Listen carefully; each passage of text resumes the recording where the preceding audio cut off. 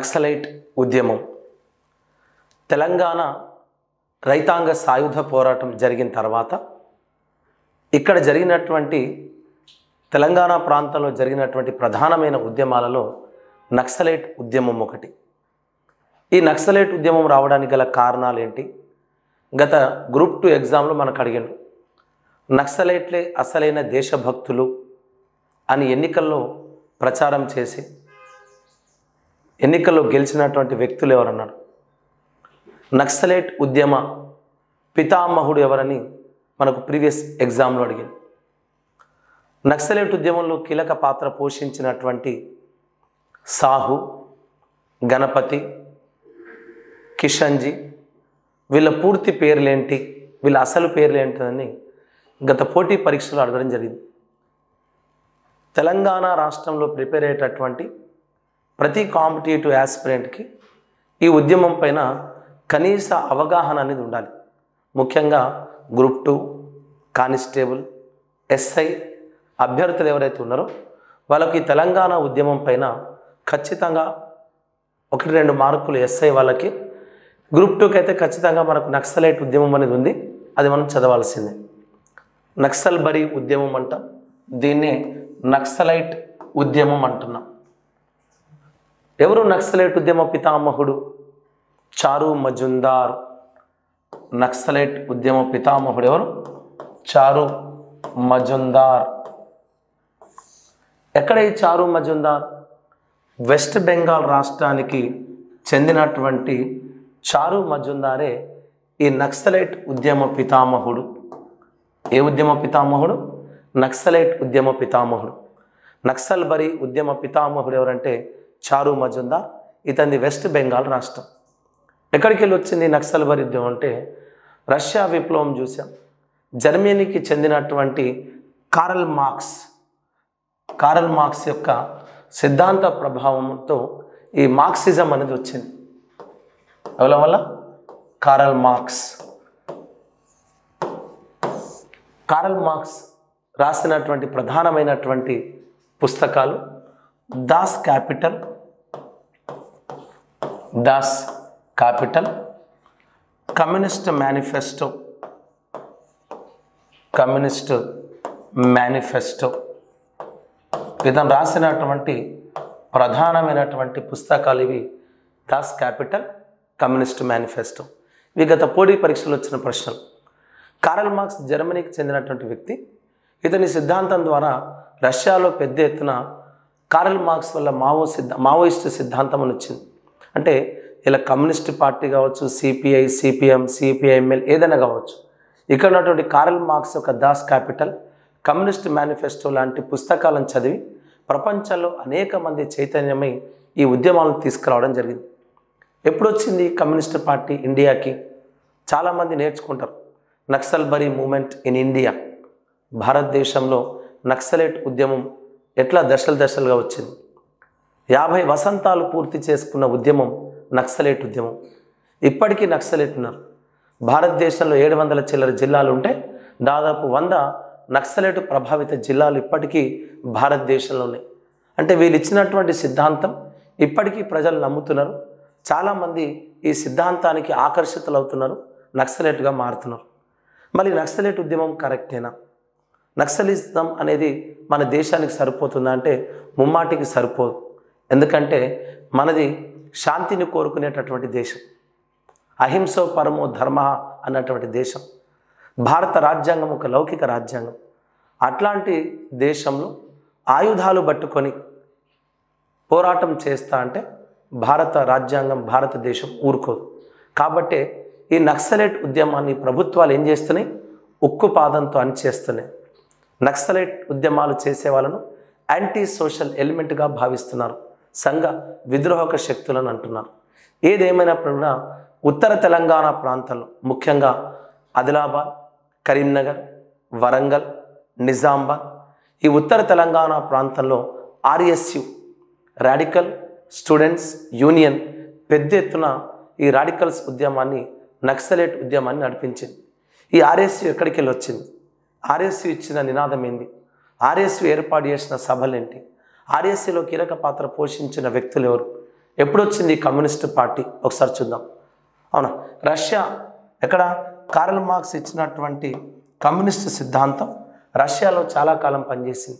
Lenin Stalin ఇలాంటి వాళ్ళంతా రష్యాలో చాలా విప్లవాత్మకమైనటువంటి మార్పులు తీసుకొచ్చారు విప్లవాత్మకమైనటువంటి మార్పులు తీసుకొచ్చి రాడికల్ చేంజ్ అంటాం. రాడికల్ చేంజ్ని తీసుకురావడం జరిగింది. ఈ కమ్యూనిస్ట్ పార్టీ ఈ సిపిఐ పార్టీ ఎప్పుడు వచ్చిందంటారు అవును? సిపిఐ అంటుంది communist party of India. Communist party of India. ఎవరితను? Stalin. ఎవరితను? స్టాలిన్. రష్యా కమ్యూనిస్ట్ పార్టీకి నాయకుడు. ఇక్కడ సాయుధ పోరాటం జరుగుతున్నప్పుడు రష్యాలో ఇతని పరిపాలన జరుగుతున్నది ఎప్పుడొచ్చింది కమ్యూనిస్ట్ సిద్ధాంతం? సిపిఐ పార్టీ ఇండియాకి కమ్యూనిస్ట్ పార్టీ ఆఫ్ ఇండియా అంటాం. పంతొమ్మిది వందల ఇరవై ఐదులో నైన్టీన్ ట్వంటీ ఫైవ్లో సిపిఐ పార్టీ ఇండియాకు వచ్చింది ఎవరి సిపిఐ పార్టీ స్థాపనలో కీలక పాత్ర పోషించింది అంటే SA Dange. SA Dange MN Roy. MN Roy SA Dange MN Roy లాంటి వాళ్ళు ఈ సిపిఐ పార్టీని స్థాపించడంలో కీలక పాత్ర పోషించారు. సిపిఐ పార్టీ ఇండియాకు వచ్చింది. అంచెలంచెలుగా ఎదుగుతూ వచ్చింది. ఇదే సిపిఐ పార్టీ తెలంగాణకు వచ్చింది. హైదరాబాద్ సంస్థానంలోకి వచ్చింది. ఎప్పుడు వచ్చింది నైన్టీన్ థర్టీ నైన్లో. పంతొమ్మిది వందల ముప్పై తొమ్మిదిలో సిపిఐ పార్టీ వచ్చింది. ఎవరు దీనిలో కీలక పాత్ర పోషించింది? మగ్దుమ్ మొహినుద్దీన్.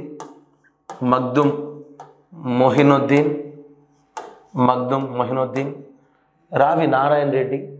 బద్దం ఎల్లారెడ్డి ఇలాంటి వాళ్ళంతా సిపిఐ పార్టీలో కీలక పాత్ర పోషించారు ఆరుట్ల రామచంద్రారెడ్డి భీమరెడ్డి నరసింహారెడ్డి రావి నారాయణ రెడ్డి బద్దం ఎల్లారెడ్డి మగ్దుమ్ మొహినుద్దీన్.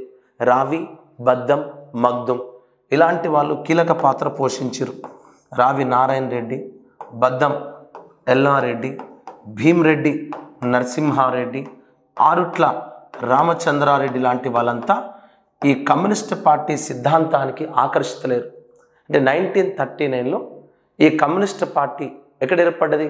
హైదరాబాద్ ఏర్పడ్డది. అంటే తెలంగాణ హైదరాబాద్ సంస్థానంలోని తెలంగాణలో ఏ పార్టీ కార్యక్రమాలు ప్రారంభమైనవి సిపిఐ పార్టీ కార్యక్రమాలు ప్రారంభమైనవి ఇదే సిపిఐ పార్టీ తెలంగాణలో అతిపెద్ద ఉద్యమాన్ని నడిపించింది. సిపిఐ నడిపించినటువంటి ప్రధానమైనటువంటి ఉద్యమం ఏంది అంటే ఇక్కడ ఉన్నటువంటి అతి ప్రధానమైన ఉద్యమం. ఏ ఉద్యమం? తెలంగాణ రైతాంగ సాయుధ పోరాటాన్ని నడిపించింది.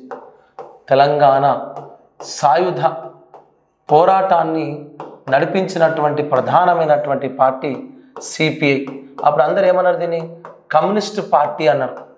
ఎవరన్నా ఎప్పుడైనా అప్పుడైనా కమ్యూనిస్ట్ పార్టీ అని అన్నారు. సో ఈ కమ్యూనిస్ట్ పార్టీ తెలంగాణలో రైతాంగ సాయుధ పోరాటాన్ని నడిపించింది. నైన్టీన్ ట్వంటీ ఫైవ్లో ఇండియాకు వచ్చింది నైన్టీన్ థర్టీ నైన్లో తెలంగాణకు వచ్చింది తెలంగాణకు వచ్చినటువంటి కమ్యూనిస్ట్ పార్టీ సాయుధ పోరాటాన్ని నడిపించింది. ఎప్పుడు జరిగింది ఈ సాయుధ పోరాటం?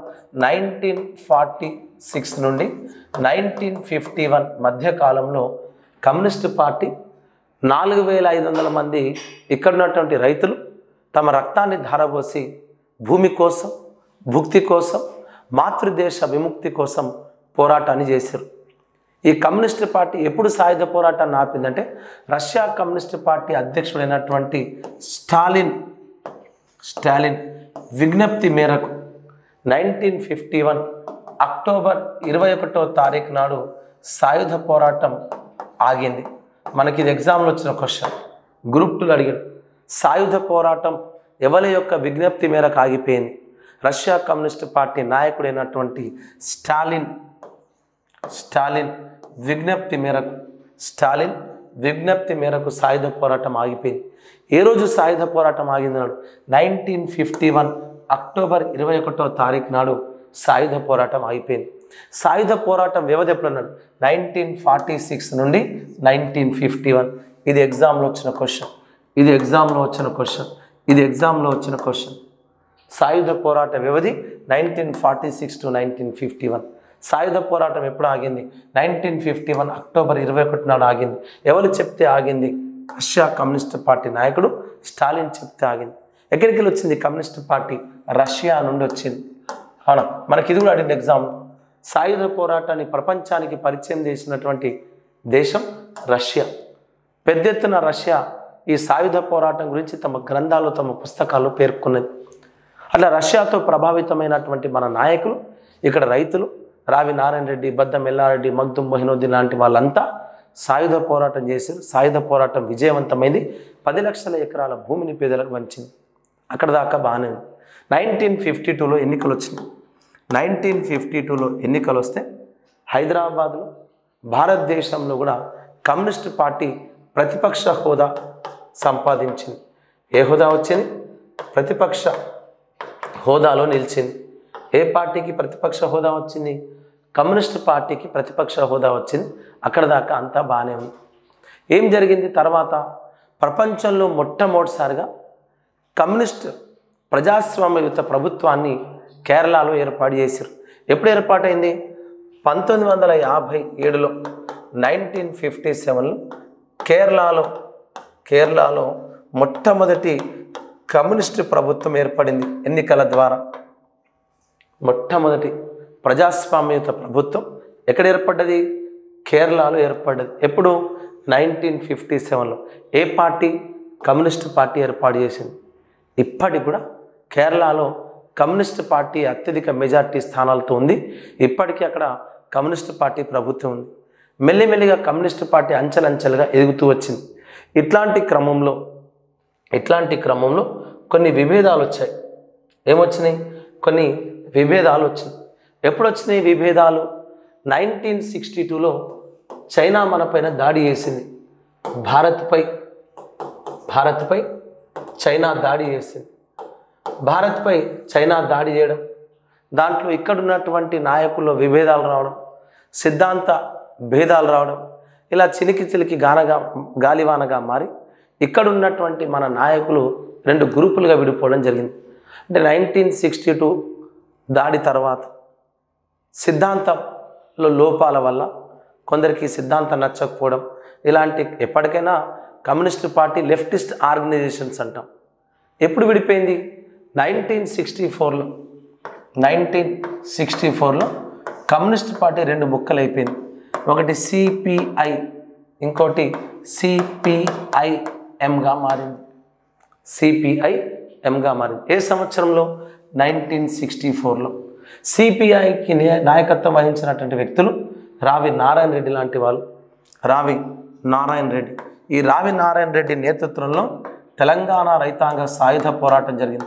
సాయుధ పోరాట పితామహుడు ఎవరంటే రావి నారాయణ రెడ్డి. ఈ రావి నారాయణ రెడ్డి సిపిఐ పార్టీకి కీలక పాత్ర కీలక నాయకుడిగా మారిండు. బద్దం ఎల్లారెడ్డి రావి నారాయణ రెడ్డి లాంటి వాళ్ళు సిపిఐ పార్టీలో వేరు సిపిఐఎం పార్టీ. అందరు సిపిఐఎం అంటాం. Communist party of India Marxist అంటున్నాం. కానీ మనం పలికేటప్పుడు ఏమంటాం? సిపిఎం అంటాం. ఎందుకంటే కన్ఫ్యూజన్ అవుతుంది కాబట్టి సిపిఎం అంటాం. Communist party of India Marxist. ఎవరు ఈ సిపిఎం పార్టీలో కీలక పాత్ర పోషించింది? పుచ్చలపల్లి సుందరయ్య మాకినేని బసవ పున్నయ్య సుర్జీత్ సింగ్ అజయ్ ముఖర్జీ జ్యోతి బసు ఇలాంటి వాళ్ళంతా కలిసి సిపిఎం అనే పార్టీని స్థాపించారు. ఏ పార్టీని? సిపిఎం. ఎవరు ఇందులో కీలక పాత్ర పోషించింది? గౌరవనీయులు పుచ్చలపల్లి సుందరయ్య. పుచ్చలపల్లి సుందరయ్య. మాకినేని బసవ పున్నయ్య మాకినేని బసవ పున్నయ్య మాకినేని బసవ పున్నయ్య అజయ్ ముఖర్జీ అజయ్ ముఖర్జీ జ్యోతి బసు సుర్జీత్ సింగ్ ఇలాంటి వాళ్ళందరూ కలిసి ఏ పార్టీ? సిపిఎం పార్టీని ఏర్పాటు చేశారు సిపిఎం పార్టీ మెల్లిమెల్లిగా అంచెలంచెలుగా ఎదుగుతూ వచ్చింది. అట్లాంటి సిపిఎం పార్టీ ఎన్నికల్లో కీలక పాత్ర పోషించి వెస్ట్ బెంగాల్ రాష్ట్రంలో అధికారంలోకి వచ్చింది. ఎప్పుడు అధికారంలోకి వచ్చింది? నైన్టీన్ సిక్స్టీ సెవెన్లో వెస్ట్ బెంగాల్లో ఎన్నికలు జరిగినాయి. నైన్టీన్ సిక్స్టీ సెవెన్లో వెస్ట్ బెంగాల్లో ఎన్నికలు జరిగినాయి. ఏ పార్టీ సిపిఎం పార్టీ ప్రధానమైనటువంటి పార్టీ. ఏ పార్టీ? సిపిఎం పార్టీ ప్రధానమైనటువంటి పార్టీ. అందులో ఒక కీలక నాయకుడు ఎవరంటే పుచ్చలపల్లి సుందరయ్య. ఏం నినాదం ఇచ్చిండు పుచ్చలపల్లి సుందరయ్య? ఇతను నడిపించిన పత్రిక ఏంది? అని చూద్దాం పుచ్చలపల్లి సుందరయ్య విశాలాంధ్రలో ప్రజారాజ్యం. విశాలాంధ్రలో ప్రజారాజ్యం అనే నినాదాన్ని ఇచ్చింది ఈ ప్రజారాజ్యం నుండి చిరంజీవి రెండు వేల ఎనిమిది ఆగస్టు నాడు ప్రజారాజ్యం అనే పార్టీని స్థాపించింది.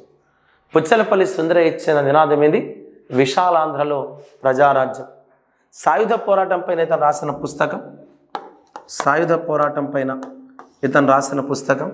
వీర తెలంగాణ వీర తెలంగాణ విప్లవ పోరాటం. వీర తెలంగాణ విప్లవ పోరాటం గుణపాఠాలు గుణపాఠాలు గుర్తుపెట్టుకుంటే సరిపోతుంది. వీర తెలంగాణ విప్లవ పోరాటం గుణపాఠాలు అనేటటువంటి పుస్తకాన్ని కూడా రాసి ఇదే పుచ్చలపల్లి సుందరయ్య పంతొమ్మిది వందల యాభై రెండులో విశాలాంధ్రకు మద్దతుగా విశాలాంధ్ర అనే పత్రిక స్థాపించిండు. ఏ పత్రిక వచ్చింది? విశాలాంధ్ర అనే పత్రిక వచ్చింది. కానీ రెండు వేల పద్నాలుగులో తెలంగాణ రాష్ట్రం వచ్చిన తర్వాత ఈ పత్రిక తన పేరు మార్చుకుంది. ఏ పేరుతో వస్తుంది? నవ్వు ఇప్పుడు తెలంగాణలో ఈ పత్రిక మన తెలంగాణ అనే పేరుతో వస్తుంది. ఏ పేరుతో వస్తుంది? మన తెలంగాణ అనే పేరుతో వస్తుంది. పుచ్చలపల్లి సుందరయ్య స్థాపించిన పత్రిక విశాలాంధ్ర. పుచ్చలపల్లి సుందరయ్య చిన్నదం నినాదం విశాలాంధ్రలో ప్రజారాజ్యం. సాయుధ పోరాటంపై ఇతను రాసినటువంటి పుస్తకం వీర తెలంగాణ విప్లవ పోరాటం గుణపాఠాలు పుచ్చలపల్లి సుందర ఏ పార్టీ స్థాపనలో కీలక పాత్ర? సిపిఎం పార్టీ స్థాపనలో కీలక పాత్ర పోషించింది. ఎప్పుడు వచ్చిన ఎన్నికలు? నైన్టీన్ సిక్స్టీ సెవెన్లో ఎన్నికలు వచ్చినాయి ఎప్పుడు వచ్చిన ఎన్నికలు? నైన్టీన్ సిక్స్టీ సెవెన్లో ఎన్నికలు వచ్చినాయి ఈ ఎన్నికల్లో పెద్ద ఎత్తున ప్రచారం జరిగింది. అవును మాకినేని బసవ లాంటి వాళ్ళు మాకినేని బసవ పున్నయ్య ఇలాంటి వాళ్ళంతా ఈ పార్టీ స్థాపనలో కీలక పాత్ర పోషించారు. నైన్టీన్ సిక్స్టీ సెవెన్లో ఎన్నికలు జరిగినాయి. నైన్టీన్ సిక్స్టీ సెవెన్లో ఎన్నికలు జరిగినాయి. ఈ ఎన్నికల్లో సిపిఎం పార్టీ ప్రజలకు వాగ్దానాలు ఇచ్చింది. ఏమని వాగ్దానాలు ఇచ్చింది? ఒకవేళ గనక మమ్మల్ని ఎన్నికల్లో గెలిపిస్తే వెస్ట్ బెంగాల్ రాష్ట్రంలో ఉన్నటువంటి భూములను పేదలకు పంచుతాం అని ఎన్నికల్లో మాటిచ్చింది. ప్రజలంతా ఏం చేశారు సిపిఎం పార్టీకి పట్టం కట్టారు ఏ పార్టీ అధికారంలోకి వచ్చింది? సిపిఎం పార్టీ అధికారంలోకి వచ్చింది. ఎవరు ముఖ్యమంత్రి అయ్యారు? సిపిఎం పార్టీ ఎన్నికల్లో గెలుపు. సిపిఎం పార్టీ ఎన్నికల్లో గెలుపు. ఎవరికి అవకాశం వచ్చింది? సీఎంగా అజయ్ ముఖర్జీ. సీఎంగా అజయ్ ముఖర్జీ. హోంమంత్రిగా జ్యోతి బస్సు. హోంమంత్రి జ్యోతి బస్సు హోంమంత్రి అయింది ఎవరండి? హోంమంత్రి జ్యోతి బసు సీఎం అజయ్ ముఖర్జీ. వీళ్ళిద్దరూ ప్రభుత్వాన్ని ఏర్పాటు చేశారు అవునా? ఇచ్చిన మాట ప్రకారం ప్రజలకి ఇప్పుడు ఏం చేయాలి? భూములను మంచాలి అజయ్ ముఖర్జీ జ్యోతి బసు ప్రభుత్వం. ఇక్కడ ఉన్నటువంటి పేద ప్రజలకు ఏం పంచాలా? భూములు పంచాలి? కానీ నైన్టీన్ సిక్స్టీ సెవెన్లో అలా జరగలే. నైన్టీన్ సిక్స్టీ సెవెన్లో భూములు పంచాలి భూములు పంచాలి అని ఇక్కడున్నటువంటి ప్రజలు పెద్ద ఎత్తున ఉద్యమం చేశారు ఇది నచ్చనటువంటి ప్రభుత్వం సొంత ప్రభుత్వమే. పేదలకు భూములు పంచుతా అని చెప్పినటువంటి ప్రభుత్వమే ఏం చేసింది? కాల్పులు జరిపింది. నైన్టీన్ సిక్స్టీ సెవెన్లో కాల్పులు జరిపింది. ఎప్పుడు జరిగినాయి కాల్పులు? నైన్టీన్ సిక్స్టీ సెవెన్ ఎన్నికల తర్వాత ప్రభుత్వాన్ని ఏర్పాటు చేసినటువంటి జ్యోతి బసు అజయ్ ముఖర్జీ ప్రభుత్వం పేదలకు భూములు పంచడం అంటే ఏం చేసింది? కాల్పులు జరిపి అమాయకులైనటువంటి మహిళలను పిల్లలను చంపింది. దీంతో ఈ కాల్పులు సొంత పార్టీలో ఉన్నటువంటి నాయకులకి నచ్చలేదు. ఆ నచ్చనటువంటి నాయకులే ఈ అజయ్ ముఖర్జీ ప్రభుత్వానికి వ్యతిరేకంగా అజయ్ ముఖర్జీ ప్రభుత్వానికి వ్యతిరేకంగా పెద్ద ఎత్తున ఉద్యమాన్ని ప్రారంభించారు. ఆ ఉద్యమానికి నాయకుడు ఎవరంటే చారు మజుందార్. ఎవరండి? చారు మజుందార్. ఇతన్నే మనం ఏమన్నాం? నక్సలైట్ ఉద్యమ పితామహుడు అన్నాం. ఏమన్నామండి? నక్సలైట్ ఉద్యమ పితామహుడు. దేన్ని వ్యతిరేకించారు వెస్ట్ బెంగాల్ రాష్ట్రంలోని డార్జిలింగ్ జిల్లాలోని వెస్ట్ బెంగాల్ రాష్ట్రంలోని డార్జిలింగ్ జిల్లాలోని సిలిగురి సిలిగురి ప్రాంతంలోని సిలిగురి ప్రాంతంలోని నక్సల్బరి అనే గ్రామంలో నక్సల్బరి అనే గ్రామంలో కాల్పులు జరిగినాయి. ఈ కాల్పును వ్యతిరేకించినటువంటి చారు మజుందార్ సొంత సిపిఎం పార్టీకి వ్యతిరేకంగా సిపిఎం పార్టీకి వ్యతిరేకంగా ఏ ఉద్యమాన్ని ప్రారంభించను సిపిఎం పార్టీకి వ్యతిరేకంగా ఏ ఉద్యమం నక్సల్ బరి ఉద్యమాన్ని ప్రారంభించాను మనకు ఎగ్జామ్లు ఏమడిగాను? నక్సలైట్ అనే పదం ఎక్కడి నుండి వచ్చిందనను నక్సలైట్ అనే పదం వెస్ట్ బెంగాల్ రాష్ట్రం డార్జిలింగ్ జిల్లా సిలిగురి ప్రాంతంలోని నక్సల్బరి అనే గ్రామంలో నైన్టీన్ సిక్స్టీ సెవెన్లో పేద ప్రజలంతా భూముల కోసం పోరాటం చేశారు ఆ పోరాట ఫలితంగానే ఏ ఉద్యమం వచ్చింది? నక్సల్ బరి అనే ఉద్యమం వచ్చింది. ఆ నక్సల్ బరి ఉద్యమానికి నాయకుడు ఎవరు చారు మజుందార్. ఇతన్నే మనం అన్నాం నక్సలైట్ ఉద్యమ పితామహుడు అన్నాం. ఈ చారు మజుందార్ సిపిఎం పార్టీ విధానాలను వ్యతిరేకిస్తూ కొత్త పార్టీ ఏర్పాటు చేసింది ఎవరితో కలిసి? కాను సన్యాల్. కాను సన్యాల్. కార్యదర్శిగా. కాను సన్యాల్. కార్యదర్శిగా. నైన్టీన్ సిక్స్టీ నైన్ ఏప్రిల్ ఇరవై రెండవ తారీఖు నాడు నైన్టీన్ సిక్స్టీ నైన్ ఏప్రిల్ ఇరవై రెండవ తారీఖు నాడు చారు మజుందార్ అధ్యక్షునిగా చారు మజుందార్ అధ్యక్షునిగా చారు మజుందార్ అధ్యక్షునిగా కలకత్తాలోని కలకత్తాలోని షహీద్ మైదాన్లో కలకత్తాలోని షహీద్ మైదాన్లో కాను సన్యాల్ కాను సన్యాల్ కార్యదర్శిగా నైన్టీన్ సిక్స్టీన్ నైన్ ఏప్రిల్ ఇరవై రెండు చారు మజుందార్ అధ్యక్షునిగా కలకత్తాలోని షహీద్ మైదాన్లో సిపిఐఎంఎల్ అనే పార్టీ ఏర్పడింది. సిపిఐ ఎంఎల్ అనే పార్టీ ఏర్పాటు చేశారు ఏంది సిపిఐ ఎంఎల్ అంటే? Communist party of India Marxist and Leninist ఎవరు కార్యదర్శి? చారు మజుందార్ అధ్యక్షునిగా. చారు మజుందార్ అధ్యక్షునిగా. కాను సన్యాల్ కార్యదర్శిగా ఏ పార్టీ? సిపిఐఎంఎల్ అనే పార్టీ ఏర్పడింది. హీస్ చారు మజుందార్. ఈ చారు మజుందార్ అధ్యక్షునిగా ఏ పార్టీ సిపిఐఎంఎల్ అనే పార్టీ ఏర్పడింది. ఏ సంవత్సరంలో? నైన్టీన్ సిక్స్టీ నైన్లో CPIML communist party of India Marxist and Leninist ఏ ఉద్యమానికి కారణమైంది పార్టీ? నక్సలైట్ ఉద్యమానికి కారణమైంది. ఏ ఉద్యమానికి కారణం? నక్సలైట్ ఉద్యమాన్ని నడిపించిన పార్టీ ఏదంటే సిపిఐఎంఎల్ పార్టీ. ఈ సిపిఎంఎల్ పార్టీ మూడు సిద్ధాంతాలు ఇచ్చింది. ఆనాడు ప్రభుత్వం పేదలకు భూములు పంచుతా అని నమ్మక ద్రోహం చేసింది. ఖచ్చితంగా ఆనాడు పేదలకు భూములు పంచుంటే ఈ ఉద్యమమే వచ్చేది కాదు అని చెప్పి భావించినటువంటి కమ్యూనిస్ట్ పార్టీ ఏం నినాదం ఇచ్చింది? దున్నేవానికే భూమి ఇవ్వాలి అనే నినాదం ఇచ్చింది. Communist party of India Marxist and Leninist మూడు సిద్ధాంతాలు ఇచ్చింది. నంబర్ వన్ దున్నే వానికే భూమి వాలి. దున్నే వానికే భూమి అని నినాదం ఇచ్చింది. ఆనాడు సాయుధ పోరాట నినాదమే మళ్ళీ తెర మీదకి వచ్చింది ఏమన్నది? చారు మజుందార్ పార్టీ దున్నేవానికే భూమి వాలి. ఇంకేమన్నది? ఆనాడు ఎన్నికల్లో సిపిఎం పార్టీ చెప్పినవన్నీ అబద్ధాలే. అంటే ఎన్నికల్లో రాజకీయ నాయకులు చెప్పేటివన్నీ బూటకపు మాటలే. అట్లాంటి ఎన్నికలు ఎందుకు కాబట్టి ఆ ఎన్నికలను ఏం చేయాలి? బహిష్కరించాలి అని ఈరోజు రాజకీయ నాయకులు ఎన్నికల్లో ప్రచారంలో ఇచ్చేటటువంటి మాటలు ఒకటి ఎన్నికల తర్వాత గెలిచిన తర్వాత వాళ్ళు చెప్పేటటువంటి మాటలు ఒకటి. అంటే రాజకీయ నాయకులు ఎన్నికల్లో చెప్పేటివన్నీ అబద్ధాలే కాబట్టి ఈ అబద్ధపు ఎన్నికలు ఈ బూటకు ఎన్నికలు మనం ఏం చేయాలి? బహిష్కరించాలని ఎన్నికలను బహిష్కరించాలి అని ఎన్నికలను బహిష్కరించాలి. నంబర్ త్రీ మూడో సిద్ధాంతం ఏమన్నది? సామాన్య ప్రజలం కాబట్టే ఆనాడు ప్రభుత్వం దగ్గర ఆయుధాలు ఉన్నాయని చెప్పి ప్రజలను కాల్చి చంపింది.